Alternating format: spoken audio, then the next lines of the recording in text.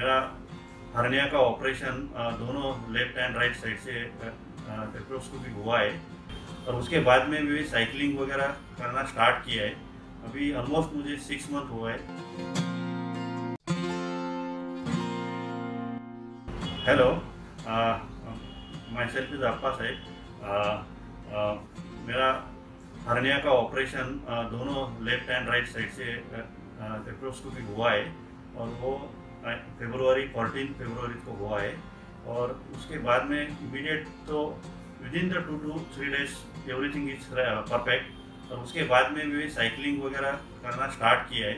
अभी ऑलमोस्ट मुझे six month हुआ है। मैं रेगुलरली साइकिलिंग करता हूँ। और ऐसे एक्टिविटी में भी मुझे कहीं भी पेन बिल्कुल होता नहीं। और बिल्कुल कंफर्टेबल है, कोई इशू नहीं।